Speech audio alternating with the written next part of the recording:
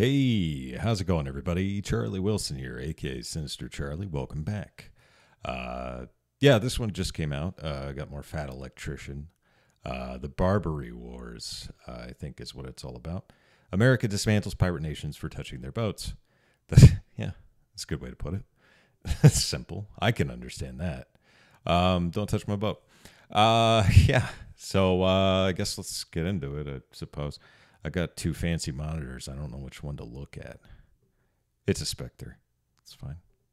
ah, yes, that time the pirates kept messing with American ships. So George Washington. Oh, and my shirt is very shiny. I, I, when I changed the, I know, yeah, people were saying that uh, the last video I was very transparent, but I'm always transparent, you know, and physically apparently. So, uh, yeah, I just, I, I don't know how to fix this. Sorry, founded I'm the. United States Navy to do something about it. Yeah, the United States Navy was founded for the sole reason Oh, of hunting pirates. Right. Today we're talking about the Barbary Wars. Oh, and my shirt. Sorry to keep pausing it. My shirt got delivered, but uh, I can't seem to find it. So hopefully it comes tomorrow. Ladies and gentlemen, it is pretty much an ongoing internet joke that you do not mess with America's boats, you know, because of Operation Praying Mantis, that time that America decided they were going to sink half of Iran's navy in like eight hours. And and Vietnam and and World War II and World War One Yeah. and the Spanish American War and the War of 1812. Sure. Um, I guess if you're not picking up what. I'm putting down, I'm trying to tell you this is the origin story of why you don't mess with America's boats. But first, a word from our sponsor because this video is brought to you by my favorite underwear company, Sheath. Wait, hold on. I'm supposed to read a script for this one. Here's how to do a perfect ad read. I'm used to only. Sh- uh, uh, uh, was it Legion of Skanks doing uh, sheath ads? So for our company. Let's take a quick second Sorry. to thank our favorite sponsor for today's show, which is Sheath Underwear. Sheath makes the most comfortable boxer briefs ever worn, and Clarence parents have a real good marriage. This shit's fucking lame. Okay, look, here's the deal. Whether you're talking to a veteran, a construction worker, That's or your awesome. dad, they're all going to tell you that there's one universal truth to life, and that truth is that cargo pockets are fucking awesome. Yes, they are. Hell yeah. If you think cargo shorts are cool, Goddamn wait till you try cargo underwear, except the cargo pocket is made with balls not being stuck to your thigh technology. And I know what you're Oh, yeah. thinking, but chubby electron guy, what if I try them out and I don't like it? Cool, just wear them like normal underwear and then you have a bonus cargo pocket. Nobody in the history of mankind has ever been like, damn it, I have too many available cargo pockets. It's never happened. Cargo shorts are not even cute at all. Get First of all, the cargo shorts are awesome. They always have been. Second of all, you Get know what out. Cargo pocket have in common? You don't feel either of us? Ooh. You got flip flapped. Well, at least I know who I'm not letting put their phone in my pocket next time we go somewhere. Anyways, you go. if you wanted to try some sheath cargo underwear for yourself or buy some as a gift for your significant other, I'll have them linked in the description down below, and you can use the discount code FATElectrician for 20% off. Back to the video. All right, here's the deal. For three centuries, pirates from the Barbary states of Morocco, Algiers, Tunis, and Tripoli would raid merchant Tunis. Vessels funny in the. Mediterranean, steal all the goods, and imprison and turn all of the crew members into slaves. So, why was this allowed to go on for over 300 years? Well, the only navies powerful enough to stop these pirates at the time were the Spanish, the French, and the British. And they all came to the same conclusion that it would be cheaper to pay off the pirates, giving them a yearly Yeah. tribute to not raid their ships rather than go to war with them. So now those three empires aren't getting their ships raided, which is fine. That's a good thing, I guess. But here's the catch with it that they may or may not have known at the time, but they definitely figured out somewhere along the way. Now the pirates are only raiding all the smaller nations. Okay, it's like Walmart, Target, and Amazon getting together, encouraging shoplifting, knowing that they can shoulder the financial burden, but it puts all the other mom and pop stores out of business and they become the only ones selling goods. Well, Amazon kind of does that already, don't they? Walmart to a lesser extent, but uh, definitely uh, Amazon. Except instead of retail stores, we're talking about entire nations. This goes on for literally hundreds of years, but America is still part of the British Empire, so they fall under their umbrella of protection, so it's never an issue. That is until the American Revolution started on April 19, 1775, with the shot heard around the world, the Battle of Lexington and Concord, and the famous story of a 78 year old veteran going out into his front yard and shooting three redcoats as they retreated back to Boston, sending the message for all of America that the British Empire should get off off of our lawn. Fast forward 1783, America wins the Revolutionary War, officially becoming its own country, and all of America's merchant vessels start flying the old red, white, and blue. And pretty much immediately, 1784, one of America's merchant vessels is captured by Barbary pirates from the country of Morocco. As an act of good faith for a new nation, Spain actually pays off the pirates, gets the American vessel Oh. and all of its crew back, returns it to America, and then nice advises the American government, hey, you guys should start paying these guys off too. That's what all the big nations are doing. At which point, America's minister to France, a guy by the name of Thomas Jefferson, chimes in Uh-oh. and he's like, no, absolutely not. I'm going to go talk to him. Now, obviously, I'm paraphrasing here, but basically, Thomas Jefferson rolls up and he's like, hey, don't ever fuck with my boats ever again or else. At which point, the Sultan of Morocco is like, I'm sorry, who are you? I'm Thomas Jefferson, one of the founding fathers of America. You know, we just kicked the British out of our entire country. We're our own thing now. I'm sorry, you fucking pilgrims did what now? We beat the British in war and now we are our own country. You mean to tell me that a bunch of colonial farmers with muskets went toe to toe with the largest military on the planet that is so good at war that they can literally wear high vis red coats the entire time and still win, and you beat them? Yeah, that's exactly what I'm telling you. I mean, yeah, I could probably just leave your boats alone from now on. That historically seems like it's going to be a really good idea. And that is the story of how Morocco came All to right be the first country to recognize America as its own sovereign nation by signing the Moroccan American Treaty of Peace and Friendship, which is the first and longest lasting peace treaty in American history. At which point, Thomas Jefferson is like, wow, that actually worked out perfect. I'm going to go to the other three Barbary states and tell them the same thing now. But of course, there's going to be a catch with that. You see, there's four Barbary states, but Morocco's the only one that's actually truly independent, right. and the other three are just subservient branches of the Ottoman Empire. Um, I like how it says Kingdom of Italy. Uh, that's pretty funny. I don't know why that's funny to me, but it is.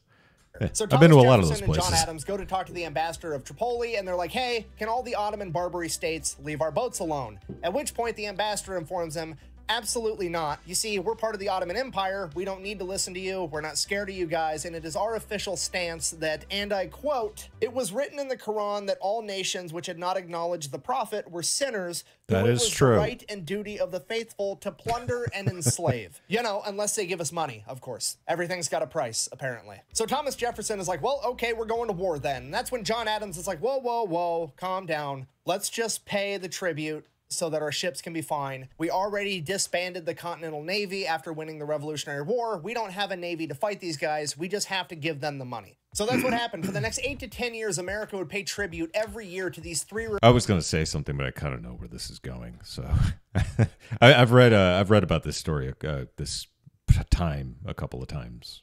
Remaining Barbary states, and every year they wanted more and more money, and eventually even that wasn't enough because Algiers began attacking American vessels anyways. Okay, if you're not picking up what I'm putting down, I'm trying to tell you that for the first time in American history, somebody has fucked with one of America's boats and they're not immediately sorry about it. Yet. The president at the time, George Washington, goes to Congress and pretty much tells them what's going to happen because at this point in time, George Washington is basically the king of America. Nobody actually knows if he's going to step down from presidency or not. So he's like, hey, guess what? You guys are going to pass the Naval Act of 1794, establishing the United States Navy. And at the So very dope. top of that document, it very clearly states that the purpose we are building the United States Navy is so that we can combat Algerine corsairs, which is just a fancy word for state funded pirates. Yes, I'm telling you that the founding document of the most powerful navy the world has ever seen at the top specifically states the sole reason for their creation is to hunt down and destroy pirates that had the audacity to fuck with one of America's ships. We've officially entered the find out portion of the story. America immediately commissions the building of six enormous frigates covered in guns to go fight these Frigate.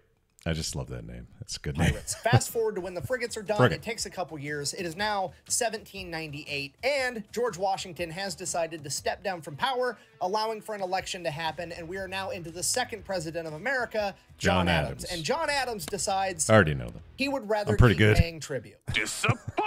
Hey, ah, America Bo. just created the Navy, spent a million dollars creating all these frigates, and now John Adams isn't going to use them for their intended purpose. Obviously, a lot of people are upset, including his own vice president, Thomas Jefferson. So, Thomas Yeah. Jefferson, the vice president at the time, immediately begins campaigning to run against the sitting president in the next election. pretty and one of his biggest platforms is that he is going to go fight these pirates rather than pay them tribute. Although I, I suppose Mike Pence did that to Trump, so you know, kind of. And his slogan for this is, and The thing I changed- quote, things millions changed. in defense before a cent in tribute. Okay, just so we're clear, Thomas Jefferson's platform for running for president is I'm going to spend millions of dollars in defense, which might as well be hundreds of billions of dollars at that point, because America no longer negotiates with terrorists. And I'm pretty sure my high school English teacher would refer to this as foreshadowing. So Thomas Jefferson Okay. wins the election. The entire world finds out that he's going to be the third president of the United States of America. And then on March 4th, 1801, the day of his inauguration, he receives a letter from Yusuf Karamanli, the Pasha of Tripoli. If you don't know, Pasha. Pasha is like the dictator, the king, the president, the, the main dude in charge. And at this point, Thomas Jefferson, the guy who just ran an entire presidential campaign on, I'm going to go fight pirates, is thinking Arr. in his head, like, maybe this guy found out that I'm about to send a navy over there to beat him up, and he's going to send an apology. Maybe he wants to sign a peace treaty like Morocco did. This is already working out great. I might not even have to send my navy over there. He opens the letter, and Pasha Yusuf Karamanli has decided that he It's a is going a to name. poke the Pilgrim King because he is now demanding that because of the new administration, the United States owes him an extra $225,000 Oh, yeah? in tribute. That's and cool. Thomas Jefferson is pissed. trying to get crazy with it. Don't you know I'm local? I do think uh, Owen Wilson could play a good Thomas Jefferson. Something about the nose. Originally, Thomas Jefferson was going to have to go to No relation, get by the way. permission to activate the Navy to send him over there to fight these pirates, but not now. He's so mad we're activating the Rainbow Shortcut to ass whooping land, and Pasha Yusuf is going to have some consequences immediately because he's sending the Navy today. But like I said, it takes a literal act of Congress to send the U.S. Navy over there on a military mission. So Thomas Jefferson is like, that's fine. We just won't send them on a military mission. Fill up one of our frigates with a bunch of gifts and peace offerings for Pasha Yusuf, and then give it a nice, healthy escort of other frigates to defend it and send them on their merry way to deliver the gifts. Right after he gives the commander of the United States Navy the standing order that he is also to defend any American citizen or ship from any potential aggression. Not aggression, potential aggression. If Okay. he thinks that somebody So, else might be it's up to you thinking then, about doing something aggressive, Take them Take 'em- out. Take them down. Yeah. That's right. Yeah. Do your stuff. So the Navy sets sail. They're gone. They're en route. Oh, Thomas oh, oh. go, go. Jefferson's sitting in his office and he comes to the realization, man, I'm pretty sure these pirates are going to attack him. But if they don't, they're actually going to end up giving Pasha What's His Nuts a bunch of these gifts. And I can't have it. So he whips out the old quill and parchment. And he writes a letter back and sends that off. And that letter basically reads Hey, America's done giving you tribute for the rest of forever. F off. And obviously, the letter makes it there first, at which point Pasha goes to the American consulate building and chops down the flagpole with the American flag You on it, which in that part of the world is how you declare war. so the U.S. Navy shows up off the coast of the Barbary States. The pirates attack them because they've already declared war. The U.S. Navy defends themselves. Word gets back. I don't know if I could fight you seriously while you're wearing a fez. I just don't think I could do it.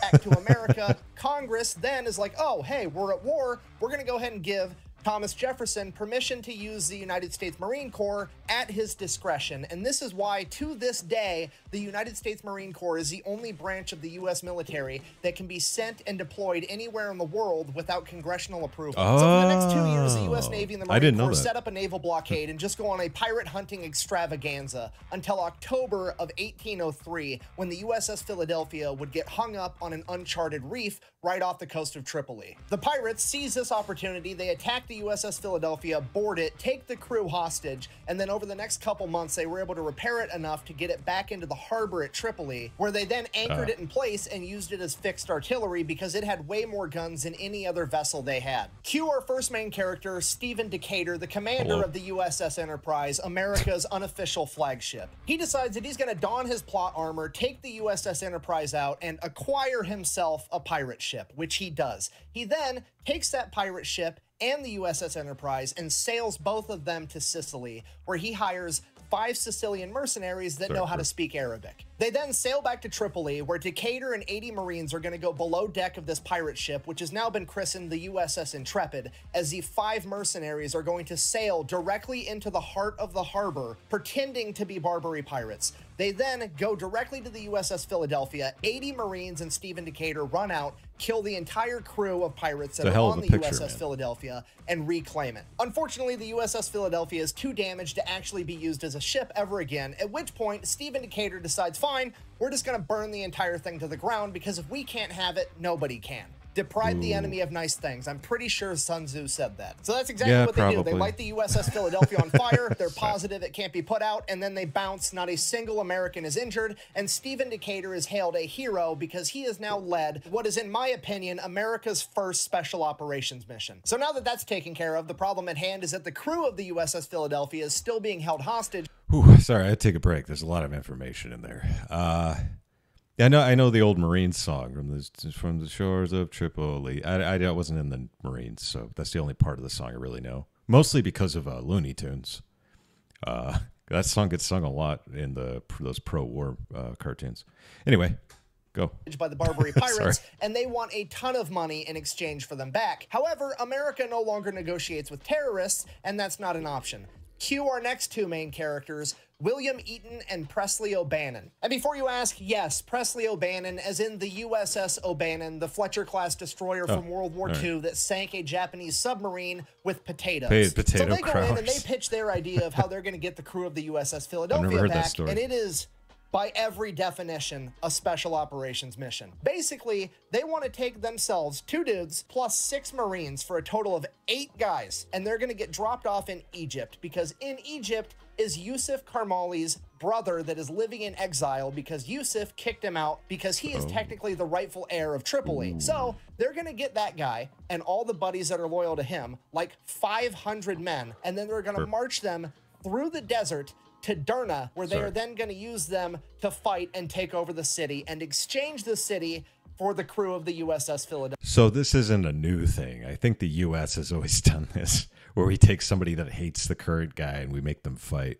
It's kind of, it's kind of, it's early roots, I guess.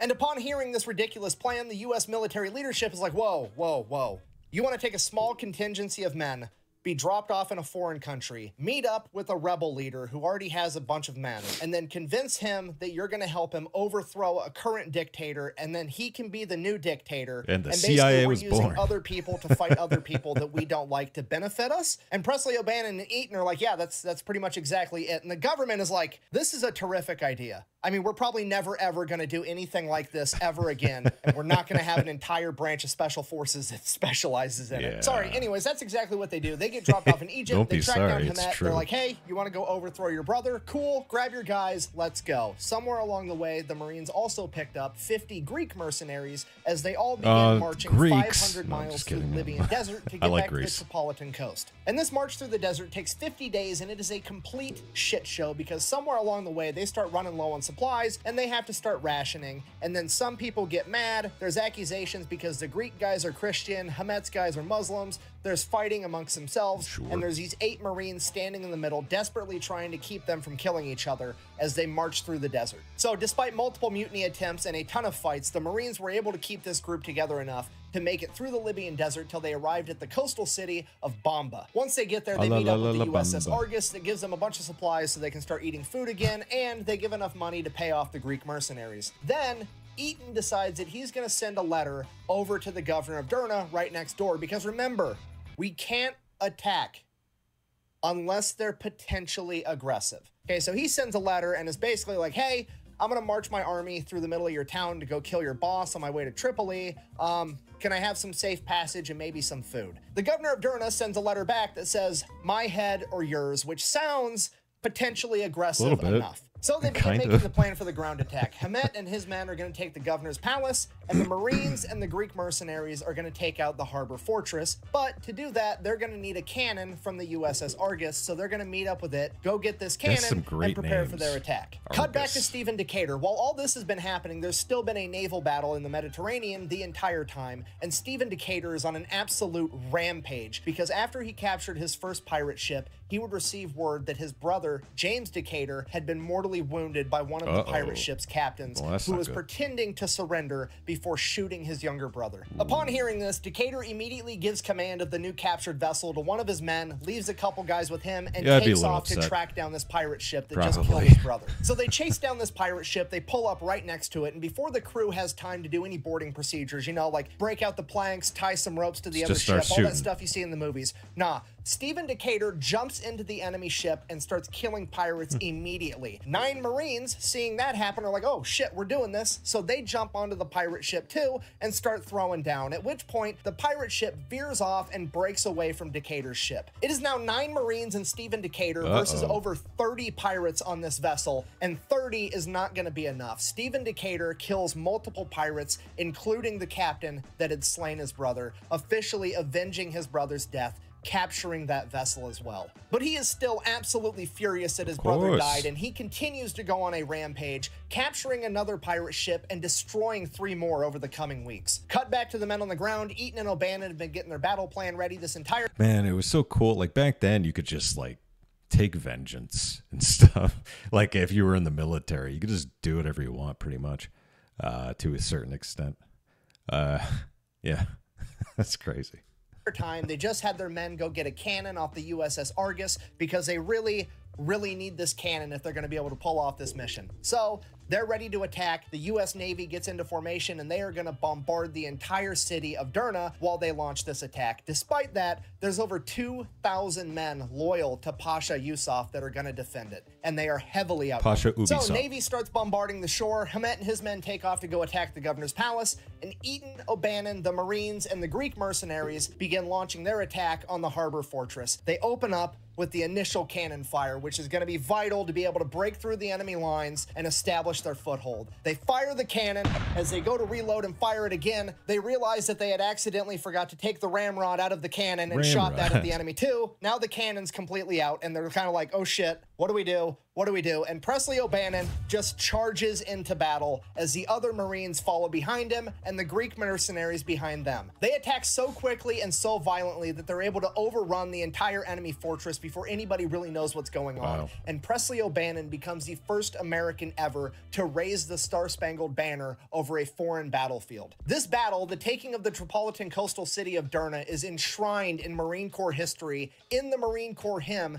with the line from the halls of go. Montezuma To- to the shores of Tripoli. Tripoli. And it is also where the Marine Corps would get their first nickname ever because the seven Marines present for this battle fought so hard and so violently that they simply became known as the Leathernecks, Oh, okay. referring to the leather collar that they wore Yeah, I was gonna say uh, he talked about devil dogs on another one, but uh, yeah, leatherneck.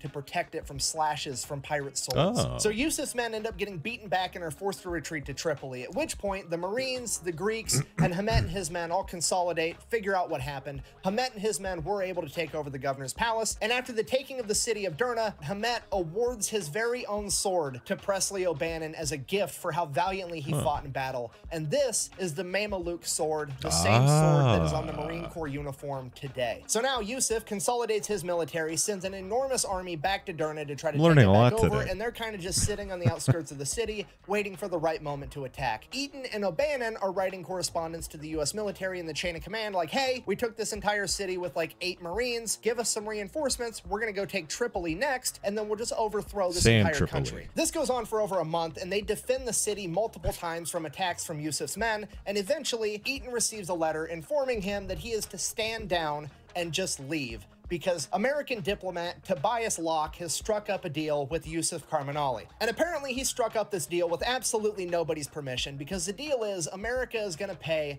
Yusuf Karamanli, the pirate king, $60,000 and in exchange we are going to receive the USS Philadelphia back as well as a peace treaty that they are going to leave American ships alone from now on. So yeah, everybody's pretty pissed off about it from Thomas Jefferson, Presley O'Bannon, William Eaton, Stephen Decatur. They're all furious that we are now giving $60,000 to this pirate king as opposed to overthrowing his entire city of Tripoli or at a minimum using the fact that they're holding Derna and use that as leverage to exchange. But whatever, the war's over, I guess For now. for now. so the peace you. treaties were signed in How'd oh I 1805. see that now, fast forward seven years, 1812. The War of 1812 happens. Okay, if you don't know, the War of 1812, there's more to it than this, but Yeah. the reason that it started can't- is that Great Can't really cover all of it in three minutes, can you?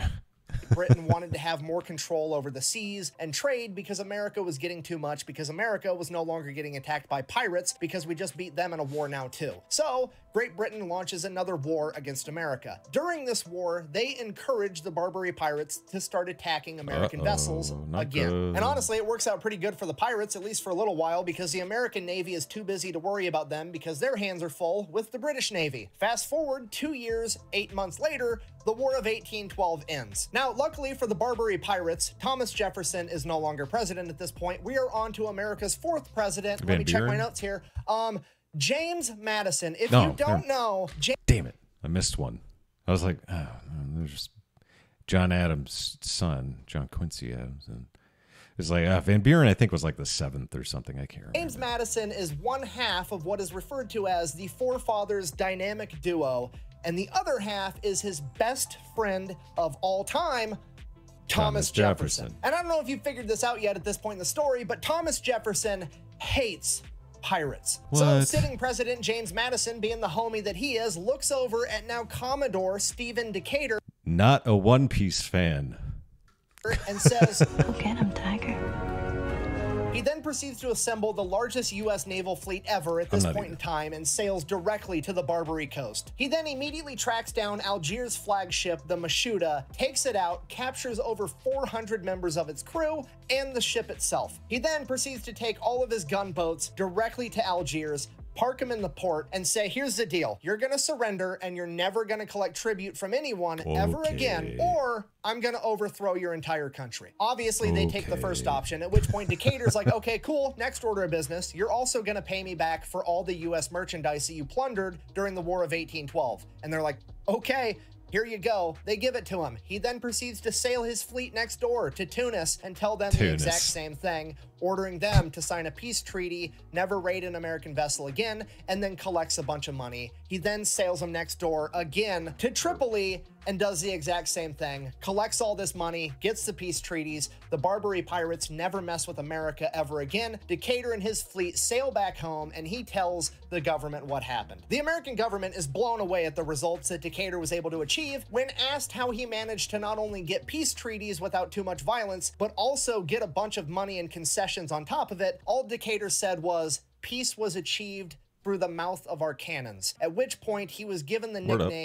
The conqueror of the Barbary pirates. And with the rest of the world seeing a new country in its infancy stand up for itself against the Barbary pirates and winning, they would start doing it too. And everybody started fighting back and quit paying tribute to the Barbary Word up. pirates. And in the coming years, they would fade into nothing as their 300 year reign of terror had come to an end. So, in conclusion, the moral of the story is please, for the love of God, do not mess with America's boats. Thank you for watching. Best Okay. way to support the channel Well, is I'll- I'll think about over it. at thefatelectrician.com. Quack bang My shirt should be coming soon. It said it was delivered today. I didn't see it.